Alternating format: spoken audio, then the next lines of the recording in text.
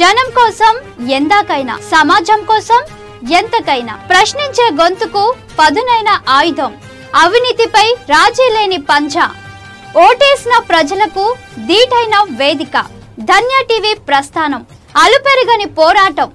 క్షణం క్షణం మీ ముందుకు సమాచారం.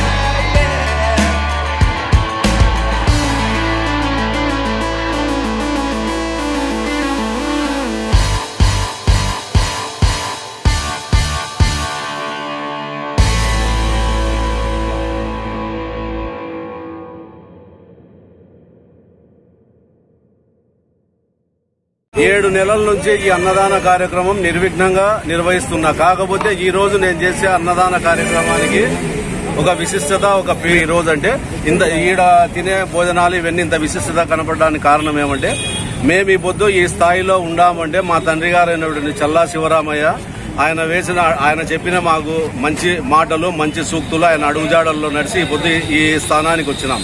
ఎందుకంటే మా ఆయన మాకేం చెప్పేవాడంటే ఎప్పటికైనా నాయన మనం పది రూపాయలు అంటూ డబ్బు సంపాదించుకుంటే మన కుటుంబానికి ఒక ఆరు రూపాయలు నాలుగు రూపాయలు జనానికి ఖర్చు పెట్టాలని చెప్పేవాడు మన నాయన. ఆరు రూపాయలు కూడా ఆ నాలుగు రూపాయలైనా ఎందుకు పెట్టాలా? జనానికి అంటే బీదా బిక్కి ఏం పెట్టినా కూడా ఎప్పుడైనా అన్నదానం అనేది అయితే చేస్తానండి. ఎక్కడ తిన్నా కూడా అన్నదానానికి ఉన్నంత విశిష్టత ప్రాముఖ్యత దేనికి ఉండదు.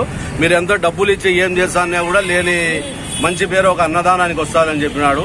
ఈ అన్నదానం ఎంత ఖర్చుతో కూడుకునేది పని అయినా కూడా నెలకు ఆరు రోజులు పెడతానా అంటే మా నాయన మాట ఖచ్చితంగా నెరవేర్చాలా నేను డబ్బు సంపాదిస్తే ఆ పని చేయాలని ఎన్ని రోజుల నుంచి అనుకుంటాను ఈ పొద్దు దేవుడు భగవంతుడు నాకు డబ్బు ఇచ్చినాడు.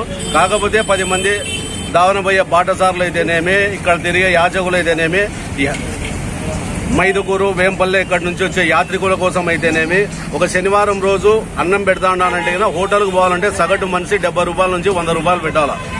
ఆ ఉద్దేశంతో ఈ కార్యక్రమం కనీసం మనం పెట్టేది ఒక పూటైనా ఒక మనిషికి ఆకలి తీర్చిన వాళ్ళం అవుతాము ఆ టయానికి అన్నం పెట్టిన వాళ్ళం అవుతాం అదే అన్నం తింటే కడుపు నిండా అన్నం పెట్టినాడు బాయన అని అంటాడు. ఆ సదుద్దేశంతోనే ఈ కార్యక్రమం ఒకటి మా నాయన గుర్తుగా ఈ కార్యక్రమం చేస్తాడు. ఖచ్చితంగా నేను అన్నదానం పెడతాను అంటే దానికి ప్రధాన కారణం నా తండ్రి చల్లా శివరామయ్య.